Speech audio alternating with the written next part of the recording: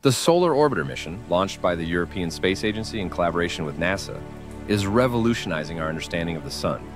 This advanced spacecraft is traveling closer to our star than any previous European mission, capturing unprecedented images and data. Solar Orbiter's unique orbit allows it to observe the Sun's poles for the first time in history, providing a vantage point that has never been explored before.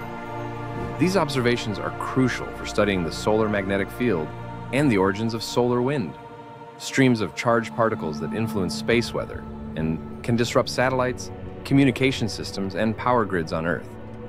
Equipped with 10 cutting-edge instruments, Solar Orbiter measures magnetic fields, solar winds, and high-energy particles while also taking high-resolution images of the Sun's surface and outer atmosphere.